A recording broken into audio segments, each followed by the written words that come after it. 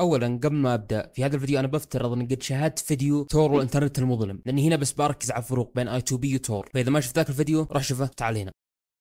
I2P يقارن ب Tor بنقاط كثيرة. كيف أن الشبكة مخفية يركز على الأمان يعيد توجيه بياناتك عن طريق أكثر من node أي أكثر من جهاز. لكن مع عدة فروقات جوهرية أهمها أنها آمن وأسرع. كمراجعة بسيطة إحنا قلنا في فيديو ال Tor انترنت المظلم أن Tor يوجه بياناتك عن طريق ثلاث أجهزة.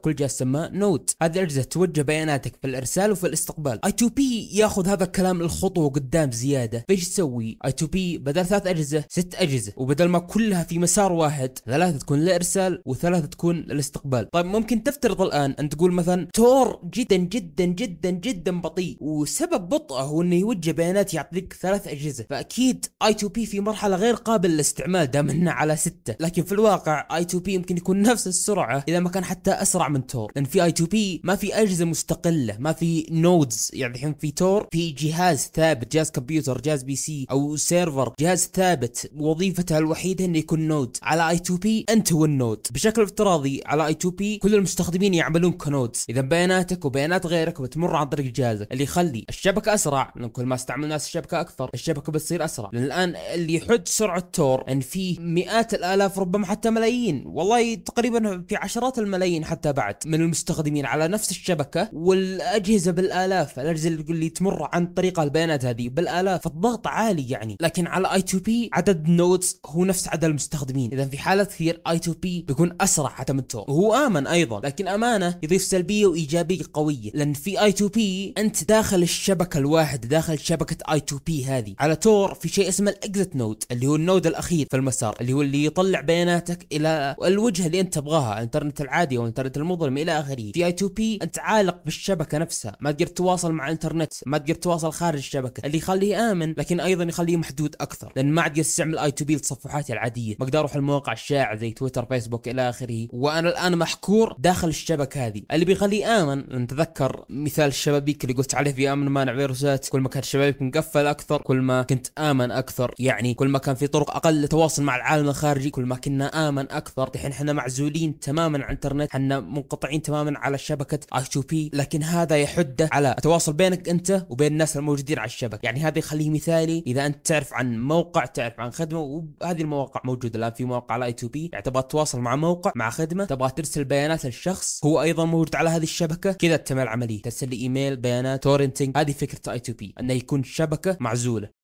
تثبيت I2P كان صعب جدا جدا جدا لكن مؤخرا صار بنفس سهولة Tor على Windows فيه installer تقدر تحمله وتثبته زي اي تطبيق عادي وعلى Linux I2P موجود في كل التوزيعات. سواء كنت على توزيع مبني على Debian Fedora أو Arch بتقدر تحصل I2P في apt dnf أو pacman وعشان نحافظ على أماننا طبعا نفس النصائح اللي اعطيتها في فيديو Tor لا تشغل JavaScript نهائيا. أما مواقع تستكشفها في وصف هذا الفيديو بيكون في عدة مواقع.